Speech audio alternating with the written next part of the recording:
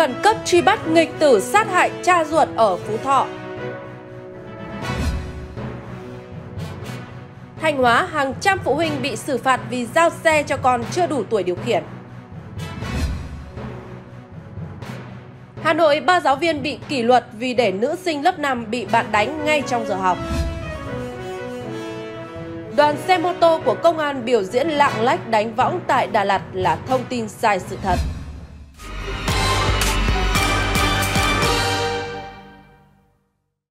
Xin được cảm ơn và kính chào quý vị đến với tin tức thời sự vừa được cập nhật của báo Thanh Hóa. Sau đây là những thông tin chi tiết, mời quý vị cùng theo dõi. Khoảng 9 giờ ngày 12 tháng 10, tại phường Minh Nông, thành phố Việt Trì, bà Nguyễn Thị Mai Hằng, sinh năm 1960, trú tại đội 4, khu Thông Đậu, phường Minh Nông đi về nhà thì phát hiện chồng là ông Đào Văn Hùng, sinh năm 1957 đã tử vong trên người có nhiều vết thương nên đã trình báo lên cơ quan công an. Ngay sau khi tiếp nhận thông tin, Phòng Cảnh sát Hình sự Công an tỉnh đã có mặt tại hiện trường, phối hợp với Phòng Kỹ thuật Hình sự Công an tỉnh và Công an thành phố Việt Trì tiến hành khám nghiệm hiện trường, khám nghiệm tử thi và tiến hành các biện pháp nghiệp vụ để điều tra theo dấu vết nóng.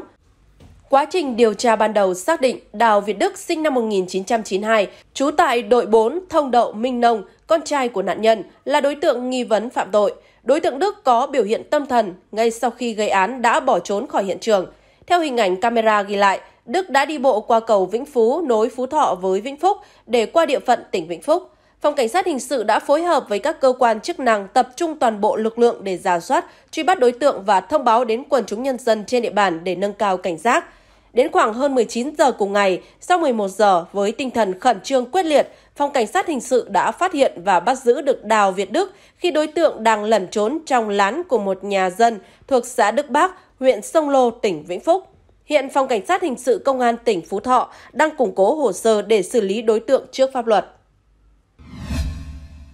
Mới đây, Công an tỉnh Thanh Hóa cho biết, sau 10 ngày ra quân thực hiện đợt cao điểm đảm bảo trật tự an toàn giao thông cho lứa tuổi học sinh, lực lượng cảnh sát giao thông toàn tỉnh Thanh Hóa đã lập biên bản vi phạm hành chính tổng số 1.282 trường hợp, phạt tiền 899 triệu đồng, tạm giữ 491 xe mô tô, 232 phương tiện loại khác.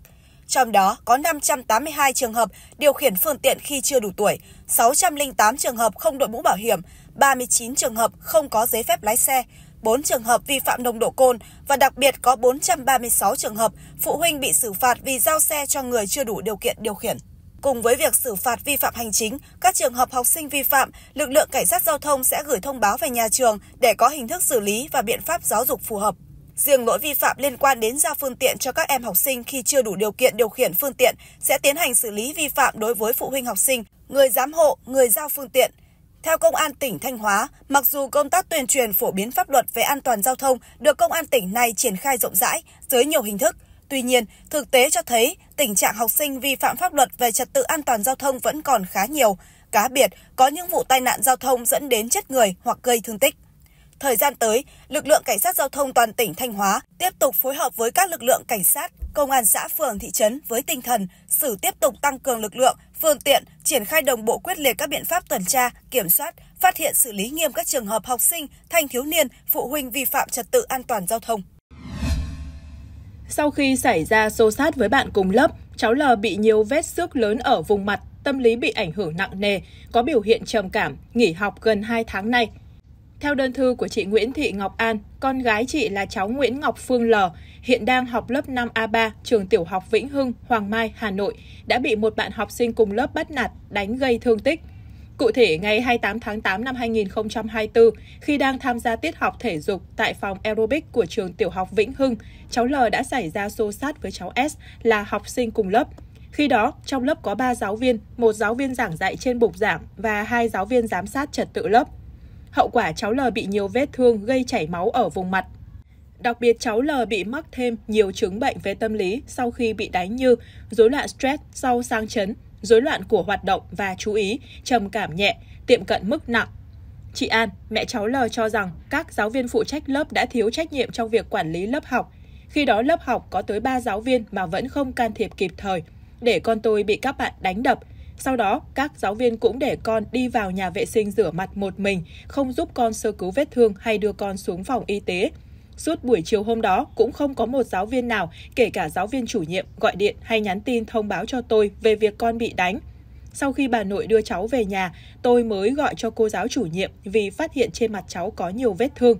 Khoảng 7 giờ tối hôm đó, cô giáo mới nghe điện thoại của tôi sau 3 đến 4 cuộc gọi nhỡ.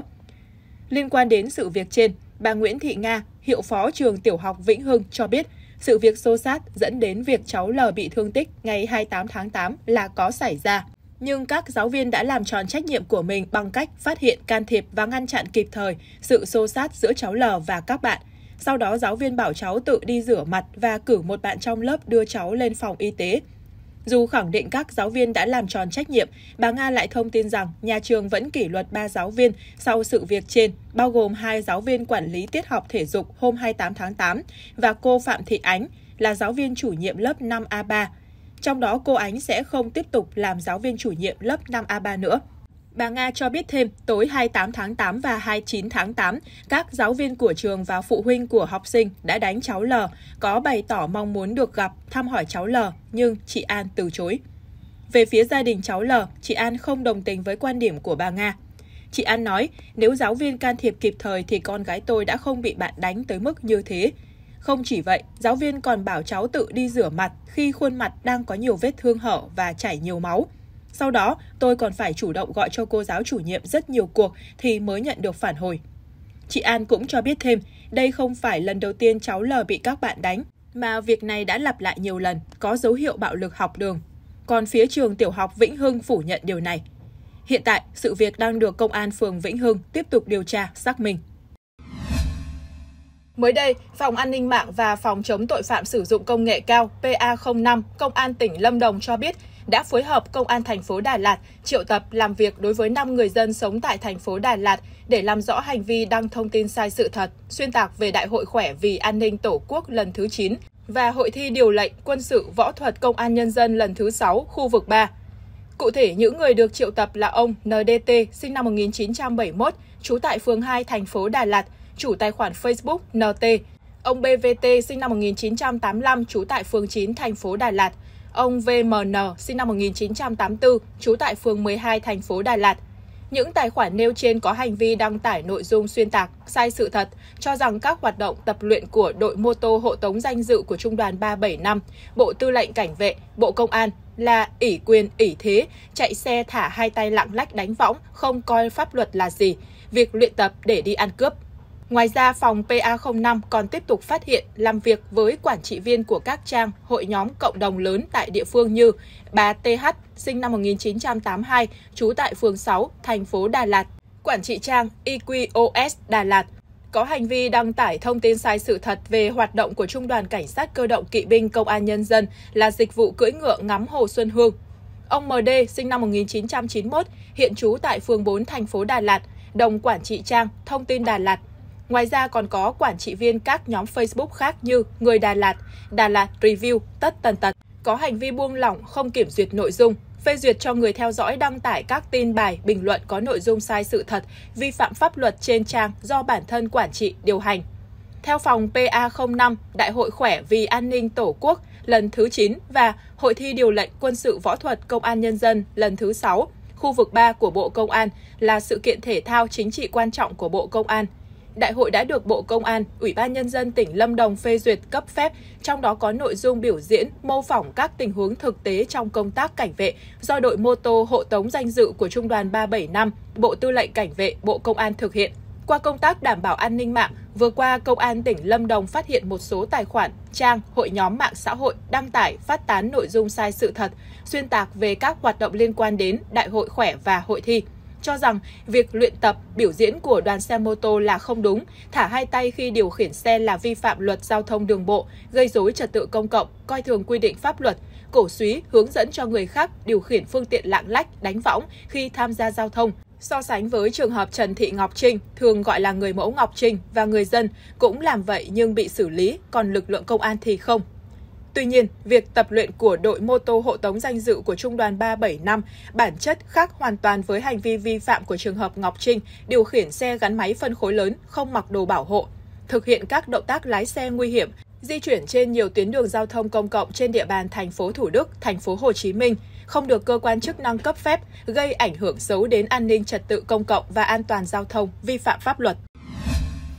Ủy ban Nhân dân tỉnh Phú Thọ vừa ban hành quyết định xử phạt hành chính trong lĩnh vực an toàn thực phẩm số tiền 180 triệu đồng đối với công ty trách nhiệm hữu hạn thương mại dịch vụ Hoàng Thủy, trụ sở chính tại khu công nghiệp Thụy Vân, Việt Trì. Theo đó, công ty trách nhiệm hữu hạn thương mại dịch vụ Hoàng Thủy có hành vi vi phạm là chế biến, cung cấp, bán thực phẩm gây ngộ độc, ảnh hưởng đến sức khỏe 5 người trở lên mà chưa đến mức truy cứu trách nhiệm hình sự.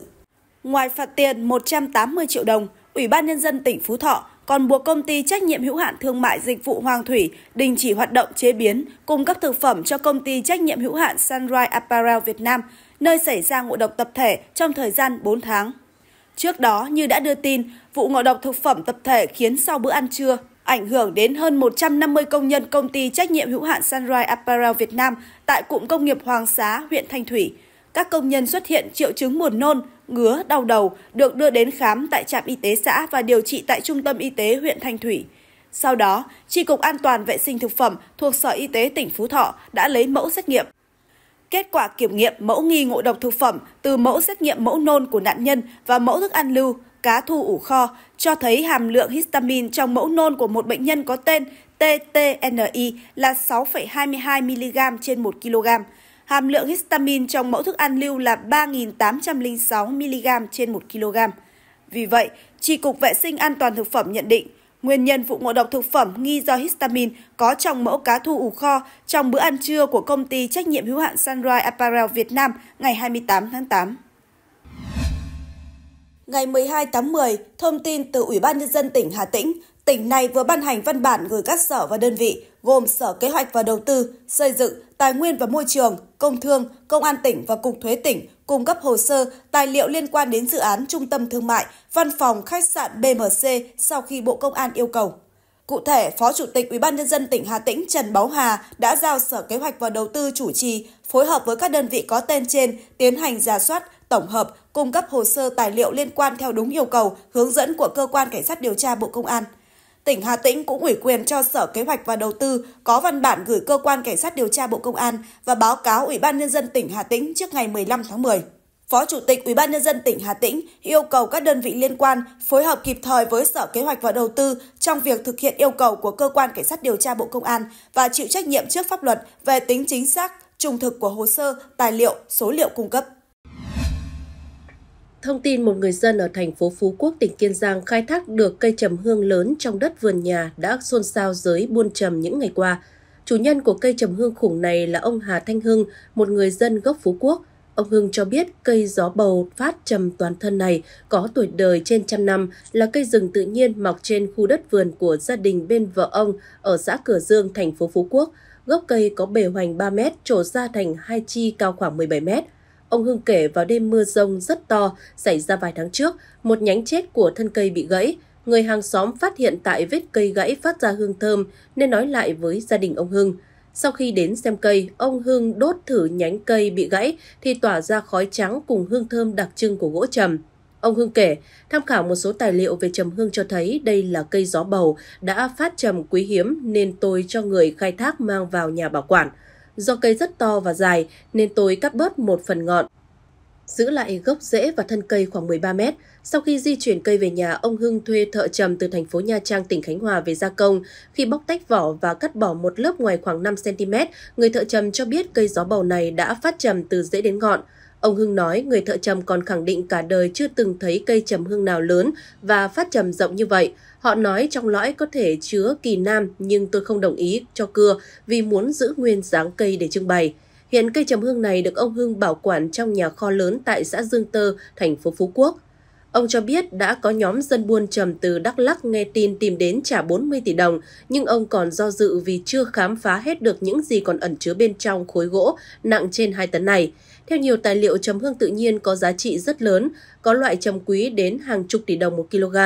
Nhiều món hàng trang sức chế tác từ trầm hương còn được ví là quý hơn vàng.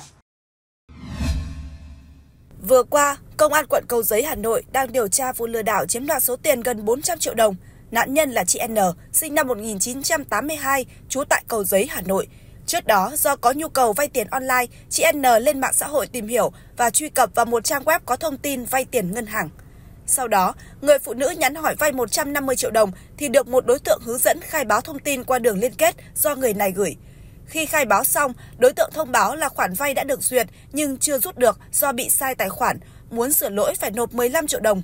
Tin theo đối tượng, chị N chuyển tiền xong nhưng vẫn không rút được tiền. Lúc này, đối tượng tiếp tục đưa ra nhiều lý do khác nữa để chị chuyển tiền thì mới được giải ngân. Người phụ nữ tiếp tục chuyển tổng số tiền gần 400 triệu đồng. Sau đó, chị N nhận ra mình bị lừa nên đã đến cơ quan công an trình báo. Theo Công an thành phố Hà Nội, nắm bắt tâm lý nhiều người dân có nhu cầu vay tiền online để phục vụ cuộc sống, các đối tượng đã giả danh cán bộ ngân hàng để lừa đảo, chiếm đoạt tài sản. Với quảng cáo thủ tục thuận tiện, giải ngân nhanh trên mạng xã hội, nhiều người đã sập bẫy của các đối tượng lừa đảo. Cơ quan công an khuyến cáo người dân cảnh giác trước các quảng cáo vay tiền qua các trang mạng xã hội, app vay tiền, những lời mời chào vay tiền với thủ tục nhanh gọn. Chỉ cần đóng phí bảo hiểm để giải ngân có thể là bẫy của các đối tượng lừa đảo. Nếu có nhu cầu vay vốn, người dân nên tìm hiểu kỹ và trực tiếp đến trụ sở, chi nhánh các ngân hàng để được tư vấn, hướng dẫn thủ tục vay tiền nhằm bảo vệ quyền lợi của mình trước pháp luật. Mới đây, một vụ việc xâm phạm chỗ ở nghiêm trọng diễn ra trong suốt 5 năm. Những người trong nhà khi phát hiện lực lượng chức năng đã có hành vi cố thủ và chống trả quyết liệt. Theo thông tin ban đầu, Tri Cục Thi hành án dân sự thành phố đã gửi thông báo cưỡng chế cho ông bà T và K cùng những người ở trong ngôi nhà. Không chỉ có vậy, trước khi thực hiện cưỡng chế, ngành chức năng đã nhiều lần vận động, thuyết phục ông bà TK cùng những người trong nhà rời đi giao nhà cho ông Nghị theo các bản án sơ thẩm, phúc thẩm Tuy nhiên, những thành viên không chấp hành với lý do đã có đơn xin xem xét lại bản án theo thủ tục giám đốc thẩm. Sáng ngày 9 tháng 10, Tri cục thi hành án dân sự thành phố Phan Thiết, Bình Thuận phối hợp với Công an thành phố và Ủy ban Nhân dân phường Đức Nghĩa cưỡng chế thi hành án đối với các ông bà PVT, DTK và các thành viên trong ngôi nhà số 6 Lê Lai, khu phố 4, phường Đức Nghĩa, thành phố Phan Thiết. Ngay lập tức, những người ở trong nhà đã khóa trái cửa cổng không cho người thi hành công vụ vào làm nhiệm vụ và có hành động chống đối, phản ứng kịch liệt, quay clip với lời lẽ không chấp hành. Lực lượng chức năng đọc lệnh cưỡng chế buộc những người bên trong phải ra khỏi nhà, trả lại cho ông Lê Thanh Nghị, người đã mua hợp pháp căn nhà này. Với tinh thần cố thủ, các thành viên trong nhà còn mang bình ga ra đặt tại cửa cổng đe dọa, với tinh thần quyết tâm hoàn thành nhiệm vụ, trả lại tài sản hợp pháp cho nạn nhân đã 5 năm mua nhà nhưng phải ra ngoài thuê trọ. Cùng với đó, vụ việc nếu không giải quyết dứt điểm sẽ gây dư luận xấu, ảnh hưởng tính nghiêm minh của pháp luật. Lực lượng chức năng sử dụng mọi biện pháp nghiệp vụ để vào nhà khi người trong nhà xả khí bình ga. Sau đó, nhiều người trong nhà được lực lượng chức năng bắt giữ và đưa lên xe cứu thương. Trước đó vào tháng 7 năm 2019, Ông Nghị gửi đơn tố giác ông TH bỗng dưng phá khóa vào chiếm giữ căn nhà hợp pháp mà ông bỏ tiền ra mua. Đến cuối tháng 5 năm 2020, cơ quan cảnh sát điều tra công an thành phố Phan Thiết cho biết, tuy hành vi của vợ chồng ông T có dấu hiệu tội phạm xâm phạm chỗ ở, nhưng cơ quan này cho rằng theo quy định tại khoản 9 điều 2 Luật xử lý vi phạm hành chính và khoản 1 điều 12 Luật cư trú thì chỗ ở của một người là nơi người đó thường xuyên sinh sống, Tuy nhiên, ông Nghị lại chưa ở tại căn nhà này ngày nào. Sau đó, cơ quan chức năng cũng chưa thống nhất được khái niệm về chỗ ở, nên vụ án không được khởi tố. Vụ việc tiếp tục đi vào bế tắc và kéo dài nên ông Nghị quyết định khởi kiện ra tòa. Tại phiên tòa sơ thẩm và phúc thẩm diễn ra vào năm 2022 và tháng 1 năm 2023 sau đó, Tòa án Nhân dân tỉnh Bình Thuận đều tuyên ông Nghị là người thắng kiện, nên vợ chồng ông bà T và K có nghĩa vụ phải tháo rỡ, di rời các tài sản ra khỏi căn nhà để trả lại nơi ở cho ông Lê Thanh Nghị. Tuy nhiên, phía ông T lấy lý do đang chờ kết quả giải quyết đơn xin xem xét bản án theo thủ tục giám đốc thẩm của Tòa án Nhân dân cấp cao tại thành phố Hồ Chí Minh nên không giao nhà. Dù tri cục thi hành án dân sự thành phố Phan Thiết nhiều lần phối hợp vận động, thuyết phục Tri Cục đã có nhiều văn bản yêu cầu Tòa án Nhân dân cấp cao giải quyết theo yêu cầu của nhà ông T, nhưng đơn vị này không có văn bản trả lời và thời hạn xem xét theo thủ tục giám đốc thẩm đã hết từ tháng 9 năm 2023. Theo đó, chính thức tài sản tranh chấp trên là thuộc quyền sở hữu hợp pháp của ông Nghị theo quyết định của hai phiên tòa trước đó. Sáng ngày 9 tháng 10, Cục Thi hành án dân sự phối hợp với cơ quan chức năng đã có mặt tại ngôi nhà số 6 Lê Lai, khu phố 4, phường Đức Nghĩa, thành phố Phan Thiết để thực thi nhiệm vụ như bản án đã nêu. Theo quyết định 61 ngày 27 tháng 9 năm 2024 của Ủy ban Nhân dân thành phố Hà Nội, từ ngày 7 tháng 10, Hà Nội áp dụng quy định mới về diện tích đất ở tối thiểu để được tách thửa.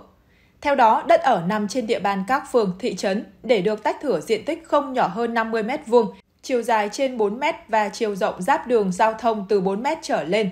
Đối với các xã vùng đồng bằng, diện tích tối thiểu để tách thửa là 80 m2, các xã vùng trung du 100 m2, còn các xã miền núi tối thiểu 150 m2. Ông Nguyễn Thế Điệp, Ủy viên Hiệp hội Bất động sản Việt Nam nhận định, trong dài hạn, đây là một xu hướng tất yếu được áp dụng đồng bộ ở nhiều quốc gia nhằm cải thiện tính minh bạch của thị trường. Việc siết phân lô sẽ không chỉ tác động tới nhóm người nhỏ, bởi không chỉ Hà Nội mà tại những đô thị loại 2 và 3, lượng nhà đầu tư tham gia vào thị trường đất nền rất nhiều. Vì loại hình này có tính thanh khoản tốt, nhu cầu cao nên một số nhà đầu tư găm hàng và bán lại với giá cao.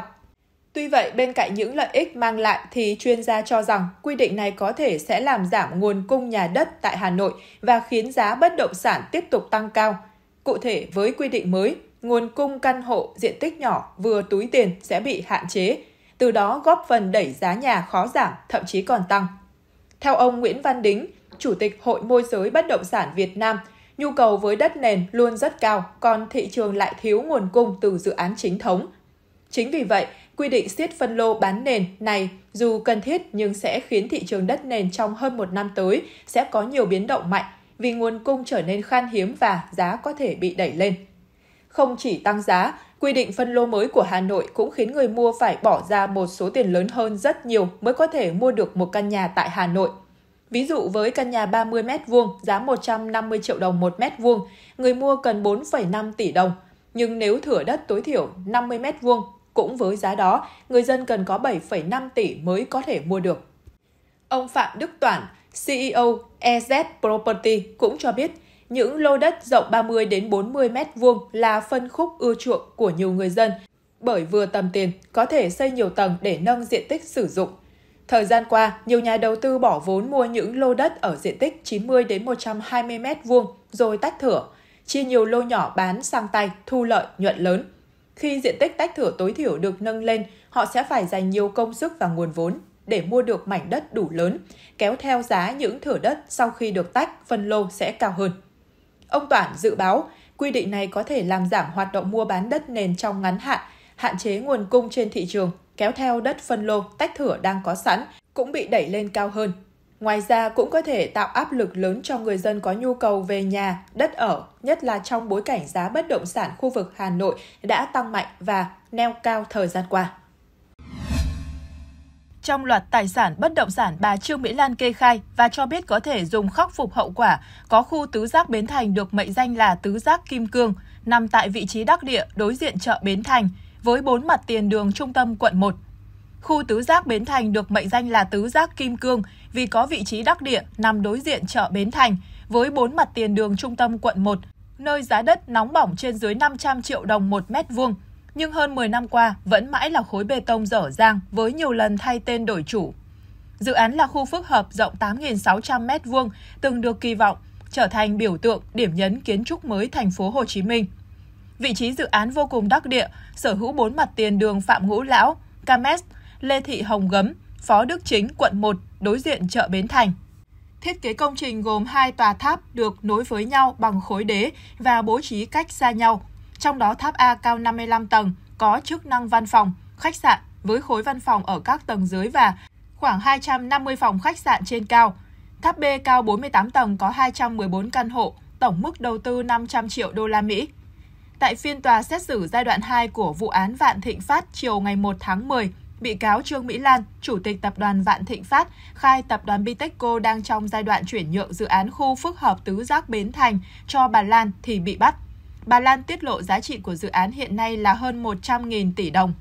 Bị cáo Trương Mỹ Lan khai trước khi bị bắt, bà và Chủ tịch Tập đoàn Bitexco có thỏa thuận miệng về việc sẽ tìm đối tác chuyển nhượng dự án với giá 22.000 tỷ đồng.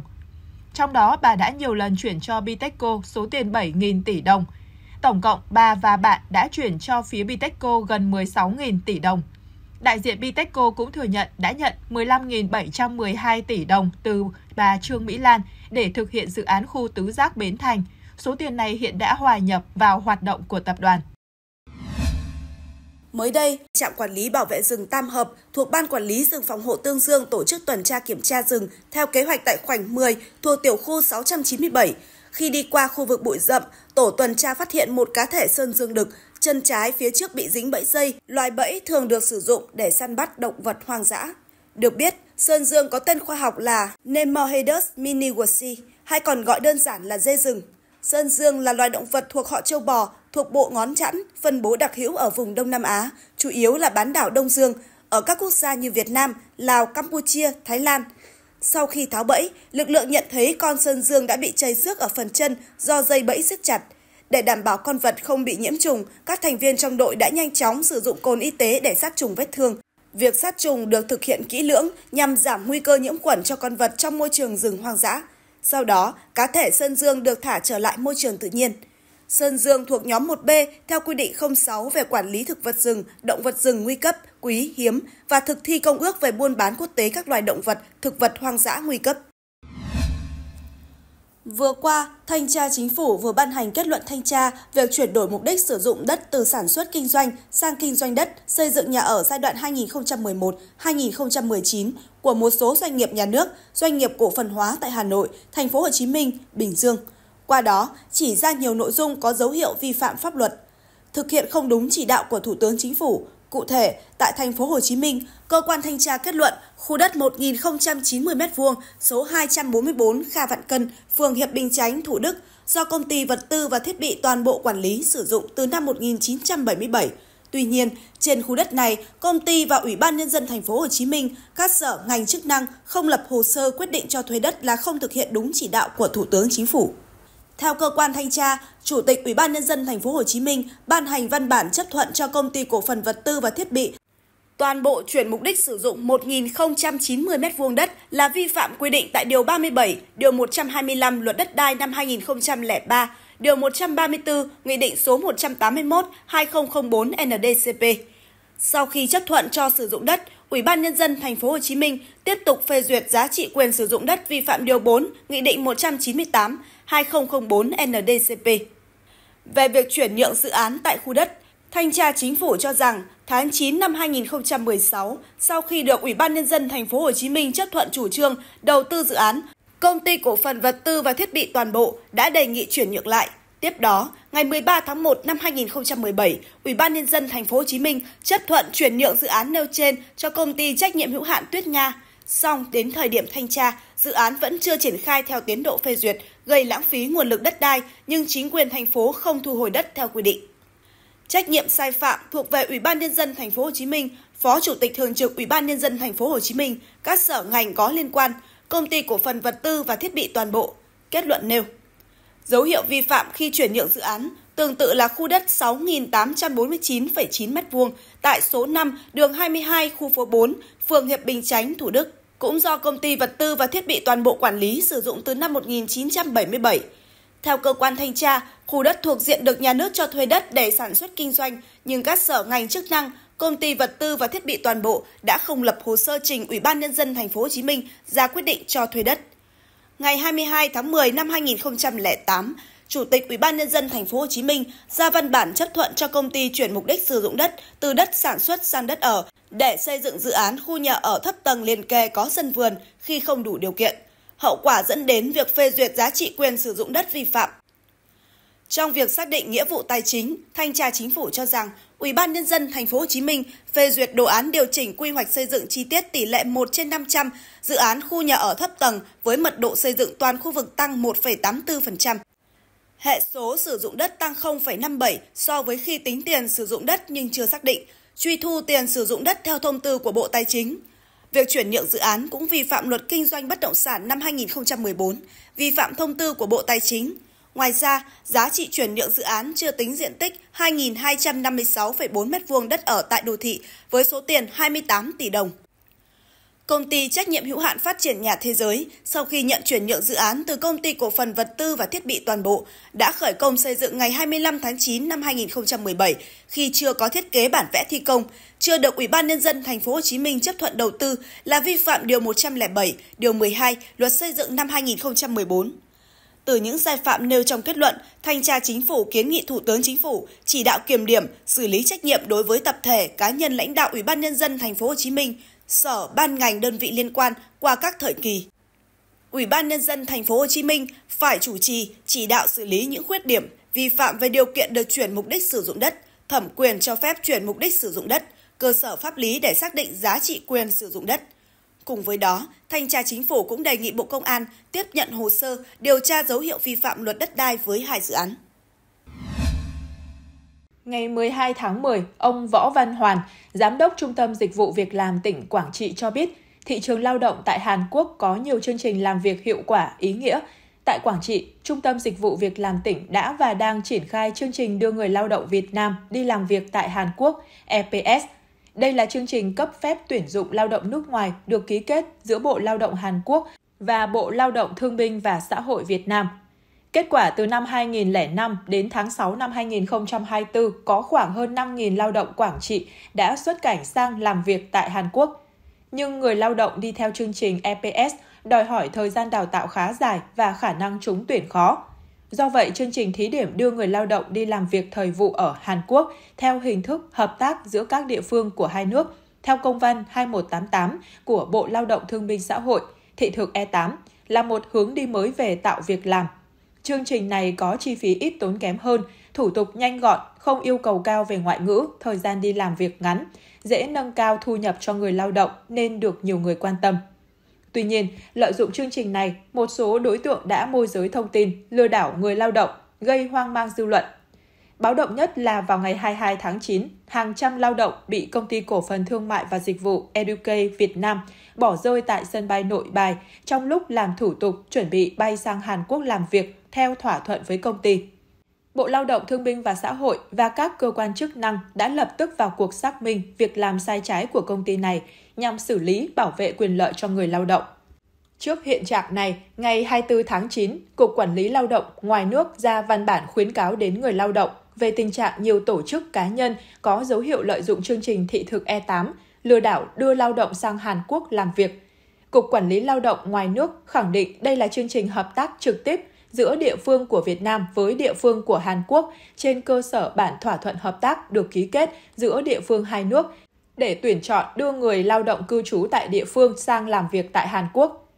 Theo ông Võ Văn Hoàn, điểm nhận biết của chương trình này là không giao cho doanh nghiệp thực hiện ký hợp đồng đưa người lao động đi làm việc ở nước ngoài dưới bất kỳ hình thức nào, mà cơ quan quản lý nhà nước cấp huyện chịu trách nhiệm ký hợp đồng tổ chức đào tạo tiếng Hàn, tuyển chọn đảm bảo yêu cầu của bên tiếp nhận lao động là địa phương ở Hàn Quốc. Thời gian qua, cả nước có 17 tỉnh đã ký thỏa thuận với địa phương của Hàn Quốc để đưa lao động đi làm việc tại Hàn Quốc theo thị thực E8.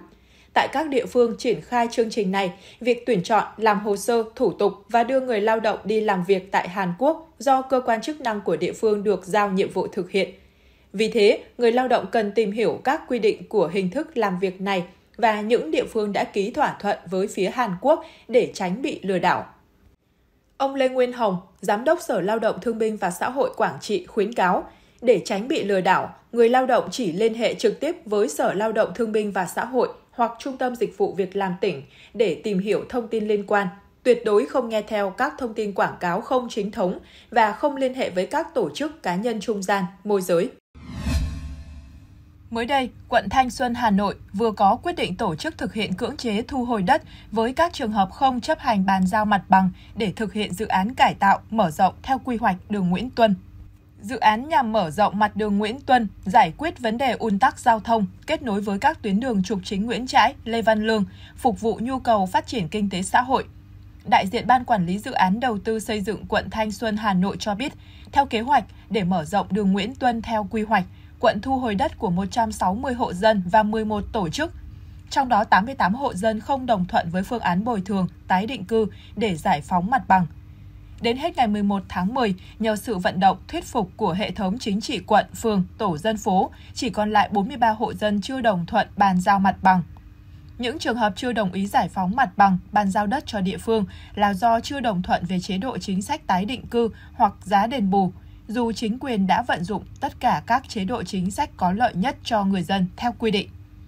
Dự kiến, các lực lượng chức năng quận Thanh Xuân sẽ tiến hành cưỡng chế, giải phóng mặt bằng, thu hồi đất đối với các hộ dân còn chưa đồng thuận bàn giao mặt bằng vào ngày 14 đến 15 tháng 10. Từ nay đến thời điểm đó, quận sẽ tiếp tục vận động, thuyết phục, hy vọng có thể đạt được sự đồng thuận của 43 hộ dân còn lại, không phải tiến hành cưỡng chế. Đường Nguyễn Tuân dài 1,1 km, giao cắt với đường Nguyễn Trãi và đường Lê Văn Lương. Khoảng 480 m từ nút giao Lê Văn Lương đến đầu ngõ 162 Nguyễn Tuân đã được mở rộng, cải tạo. Riêng từ ngõ 162 Nguyễn Tuân do chưa được mở rộng tạo thành nút thắt cổ trai, khiến tình trạng ùn tắc giao thông thường xuyên diễn ra vào giờ cao điểm. Năm 2018, Ủy ban Nhân dân quận Thanh Xuân phê duyệt dự án cải tạo, mở rộng đường Nguyễn Tuân với tổng mức đầu tư gần 400 tỷ đồng, bao gồm cả chi phí giải phóng mặt bằng. Đoạn đường được mở rộng có chiều dài 720 m, điểm đầu giao với đường Nguyễn Trãi, điểm cuối đến ngõ 162 Nguyễn Tuân. Sau khi mở rộng, tuyến đường này có mặt cắt ngang 21 m, lòng đường rộng 15 m và hai bên vỉa hè rộng 3 m nhằm phục vụ tốt hơn nhu cầu đi lại của người dân. Liên quan vấn đề thực phẩm bẩn mới đây, lực lượng chức năng tiến hành kiểm tra cơ sở giết mổ của bà Nguyễn Thị Thoa, 57 tuổi, ngụ xã Suối Nho, huyện Định Quán và ông Nguyễn Ngọc Anh Minh, 32 tuổi, ngụ xã Bình Minh, huyện Trảng Bom. Phát hiện loạt sai phạm như tình trạng giết mổ tại địa điểm không được cơ quan nhà nước có thẩm quyền cho phép, giết mổ, mua bán động vật chết, sử dụng sản phẩm từ động vật để sản xuất, chế biến thực phẩm không phù hợp quy định pháp luật. Cùng với đó, cơ quan cảnh sát điều tra công an huyện Thống Nhất Đồng Nai vừa khởi tố bị can đối với Trần Anh Lạc, 33 tuổi, thường trú tại phường Đông Hưng Thuận, quận 12, thành phố Hồ Chí Minh để điều tra về hành vi vi phạm quy định về vệ sinh an toàn thực phẩm. Trước điều tra ban đầu, Công an huyện Thống Nhất phối hợp với Công an xã Gia Kiệm và trạm chăn nuôi thú y huyện Thống Nhất kiểm tra nơi ở của Trần Anh Lạc ở ấp Tây Nam, xã Gia Kiệm, phát hiện 424 kg thịt mỡ heo chưa qua chế biến, có dấu hiệu đổi màu sắc, bốc mùi hôi thối, được để dưới nền nhà dơ bẩn trong tủ đông. 22 can nhựa chứa mỡ nước có tổng trọng lượng là 550 kg và 4 bao tóc mỡ có tổng trọng lượng gần 190 kg. Lạc khai nhận mua mỡ heo trôi nổi có dấu hiệu dịch bệnh về để chiên lấy mỡ để bán cho người khác đem ra thị trường tiêu thụ. Trong năm 2024, trên địa bàn tỉnh Đồng Nai liên tiếp xảy ra hai vụ ngộ độc thực phẩm nghiêm trọng với số lượng lớn người ngộ độc, điển hình như vụ hơn 500 người ngộ độc bánh mì tại Long Khánh, 94 công nhân ngộ độc mì Quảng ở Trảng Bom. Theo Phó Chủ tịch Ủy ban nhân dân tỉnh Đồng Nai Nguyễn Sơn Hùng cho rằng một số đơn vị địa phương chưa thực sự quyết liệt trong chỉ đạo, điều hành về an toàn thực phẩm, công tác thanh tra kiểm tra chưa thường xuyên, chỉ tập trung vào các đợt cao điểm về an toàn thực phẩm. Một số địa phương xử lý chưa nghiêm các vi phạm về lĩnh vực này, cấp xã hầu như không xử phạt, chủ yếu là nhắc nhở nên thiếu tính răn đe, làm giảm hiệu lực công tác quản lý nhà nước về an toàn thực phẩm. Đồng Nai cũng là tỉnh có nhiều khu công nghiệp, nhiều doanh nghiệp có bếp ăn tập thể và cũng là địa phương phát triển về chăn nuôi, nên việc kiểm soát an toàn thực phẩm ngay từ khâu cung cấp nguyên liệu đầu vào khá khó khăn. Vẫn còn tình trạng giết mổ không phép chưa được kiểm soát triệt để. Việc kiểm soát nguyên liệu thực phẩm đầu vào tại một số bếp ăn tập thể, cơ sở cung cấp suất ăn công nghiệp chưa được thực hiện tốt. Mới đây, Công an quận 1 thành phố Hồ Chí Minh ra quyết định khởi tố vụ án, khởi tố bị can và bắt bị can để tạm giam đối với Nguyễn Văn Tứ, sinh năm 1975, ngụ quận 1 để điều tra về hành vi cố ý làm hư hỏng tài sản. Trước đó, khoảng 13 giờ 30 phút ngày 19 tháng 9, Nguyễn Viết Khôi, sinh năm 1999, ngụ quận 1, con ruột ông Tứ, vừa đi xe máy vừa vác theo cây dù che nắng đi trên đường. Lúc này, ông KTP, sinh năm 1988, quê Bình Định, tài xế công nghệ, dừng ô tô biển số tỉnh Bình Định trước căn nhà trên đường Cống Quỳnh, phường Nguyễn Cư Trinh, quận 1 để trả khách. Đúng lúc Khôi đi qua và quẹt vào bên hông ô tô của ông P. Ông P nói Khôi bồi thường thiệt hại do xe bị chảy xước. Do không đem theo tiền nên Khôi gọi điện thoại cho cha ruột mang ra để bồi thường. Một lúc sau, ông Tứ đi xe máy tới và xảy ra tranh cãi với ông P. Được mọi người can ngăn, ông P lái ô tô rời đi. Được một đoạn, ông Tứ chạy xe tới chặn đầu xe và yêu cầu nam tài xế ra ngoài để nói chuyện. Thấy ông Tứ mang theo cây kéo nên ông P khóa cửa và ở bên trong. Thấy vậy, ông Tứ nhặt cục đá đập hai cái vào cửa kính chắn gió bên tài xế làm kính bị hư hỏng. Nhận tin báo, lực lượng công an có mặt đưa những người liên quan về trụ sở để làm rõ. Kết quả xác minh, ông Tứ có 4 tiền án tiền sự về các tội cố ý gây thương tích hoặc gây tổn hại cho sức khỏe của người khác, vi phạm các quy định về an toàn giao thông vận tải, chống người thi hành công vụ. Vụ việc đang được công an điều tra xử lý. Theo thông tin ban đầu, chiều ngày 5 tháng 10, trên đường đi học về đến xã Tân Phúc, huyện Nông Cống, LVGN, 16 tuổi, là học sinh lớp 11A6 trường Trung học phổ thông Nông Cống 2 ở thôn Thanh Sơn, xã Trung Chính, huyện Nông Cống, thấy có nhóm học sinh đánh nhau nên vào can ngăn. Sau đó, LVGN bị nhiều học sinh tập trung đánh hội đồng. Nhóm học sinh này dùng mũ bảo hiểm tác động mạnh vào đầu, cổ và dùng tay, chân đấm đạp vào người khiến N bị đa chấn thương. Ngày 12 tháng 10, ông Lê Văn Thanh, bố của LVGN, đang chăm sóc LVGN tại Bệnh viện Việt Đức, Hà Nội cho biết, sau khi bị đánh đập, cháu bị gãy đốt sống cổ số 2, hai móng tay út bị bong ra khỏi ngón. Hiện đang phải nằm cố định một chỗ để điều trị tại Bệnh viện Việt Đức, Hà Nội. Sinh hoạt cá nhân người nhà phải chăm lo. Gia đình đề nghị cơ quan công an xử lý nghiêm khắc vụ việc. Liên quan đến vụ việc, ông Đặng Văn Hùng, hiệu trưởng trường Trung học phổ thông Nông Cống 2 cho biết, chiều ngày 5 tháng 10, trên đường đi học về, em LVGN bị đánh trên địa bàn xã Tân Phúc. Hiện LVGN đang điều trị tại bệnh viện. Ngay sau khi vụ việc xảy ra, nhà trường đã làm việc với các phụ huynh có con liên quan và công an xã Tân Phúc, đồng thời cho ngừng học tập đối với 6 học sinh liên quan để giải quyết vụ việc này. Hiện vụ việc đang được cơ quan liên quan xác minh xử lý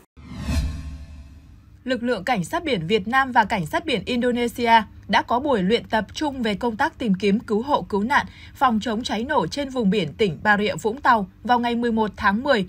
Theo Bộ Tư lệnh Vùng Cảnh sát biển 3, tham gia luyện tập chung trên biển có sự tham gia của cán bộ, chiến sĩ, thủy thủ của hai tàu CSB 8001 thuộc Bộ Tư lệnh Vùng Cảnh sát biển 3 và tàu KN Pulau Dana 323 của lực lượng Cảnh sát biển Indonesia – Đại tá Nguyễn Minh Khánh, Phó Tư lệnh, Tham mưu trưởng Bộ Tư lệnh Vùng Cảnh sát biển 3, chỉ huy chung cuộc luyện tập. Tình huống giả định được đưa ra tại cuộc luyện tập chung là trong quá trình tuần tra thực hiện nhiệm vụ trên biển, hai tàu cảnh sát biển Việt Nam và Indonesia nhận tín hiệu SOS của một tàu đang bị hỏa hoạn. Sau đó tàu CSB 8001 và tàu KN Pulau Dana 323 nhanh chóng xác định tọa độ, liên lạc với nhau qua hệ thống tần số chung, khẩn trương tăng tốc đến hiện trường tiếp cận tàu bị nạn, tiến hành hiệp đồng phun vòi rồng dập tắt đám cháy. Sau khi nhiệm vụ dập tắt đám cháy vừa kết thúc, hai tàu phát hiện người gặp nạn rơi xuống biển. Các tàu đã nhanh chóng xác định tọa độ, khẩn trương triển khai, hạ xuồng cao tốc, tiếp cận người bị nạn. Tiếp đó, cán bộ chiến sĩ đưa người bị nạn lên tàu tiến hành sơ cứu ổn định sức khỏe. Theo Đại tá Nguyễn Minh Khánh, Phó Tư lệnh, Tham mưu trưởng Vùng Cảnh sát Biển 3, đây là hoạt động thiết thực để lực lượng hai nước giao lưu, học hỏi lẫn nhau về khả năng xử lý các tình huống của đội ngũ cán bộ tàu và hành động của thủy thủ trong công tác tìm kiếm cứu hộ cứu nạn, phòng chống cháy nổ trên biển. Đại tá Nguyễn Minh Khánh cho biết đây cũng là dịp để cán bộ sĩ quan hai nước có thêm những kinh nghiệm trong công tác bảo đảm an ninh an toàn, ứng phó với các sự cố trên biển, rèn luyện cho cán bộ chiến sĩ tính chủ động, sáng tạo, khả năng hành động, bản lĩnh nâng cao năng lực tổ chức, chỉ huy trong thực hiện các nhiệm vụ được giao. Theo Bộ Tư lệnh Vùng Cảnh sát Biển 3, Đợt luyện tập trung trên biển giữa lực lượng cảnh sát biển hai nước Việt Nam và Indonesia còn mang ý nghĩa lớn, góp phần hiện thực hóa bản ghi nhớ hợp tác giữa lực lượng cảnh sát biển hai nước được ký vào năm 2021. Qua đó tiếp tục thắt chặt tình cảm đoàn kết, hữu nghị truyền thống, đối tác chiến lược giữa quốc gia, hai lực lượng hướng tới kỷ niệm 70 năm thiết lập quan hệ ngoại giao giữa hai nước vào năm 2025.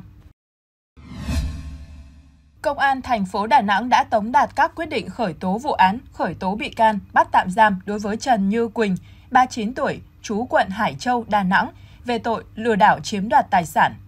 Đối tượng Trần Như Quỳnh là cộng tác viên của công ty cổ phần CMTC Việt Nam có trụ sở tại khu đô thị mới Văn Phú, phường Phú La, quận Hà Đông, Hà Nội. Ngành nghề kinh doanh chính là tư vấn đầu tư, dịch vụ tư vấn, hỗ trợ khách hàng xin visa du học, du lịch. Theo hợp đồng lao động, Quỳnh được công ty bàn giao tiền mặt, chuyển khoản hoặc sổ tiết kiệm để hỗ trợ khách hàng thực hiện thủ tục chứng minh tài chính. Sau khi hoàn thành xong thủ tục, Quỳnh sẽ tất toán hoàn trả số tiền và sổ tiết kiệm về lại cho công ty. Tuy nhiên, lợi dụng việc cộng tác cho công ty, từ đầu tháng 5 năm 2024, Trần Như Quỳnh đã sử dụng thủ đoạn gian dối đưa ra thông tin không có thật về việc một số cá nhân có nhu cầu chứng minh tài chính để công ty CMTC tin tưởng và chuyển tiền. Qua đó đối tượng đã chiếm đoạt số tiền hơn 5 tỷ đồng của công ty. Hiện vụ việc đang được Công an thành phố Đà Nẵng tiếp tục điều tra, làm rõ.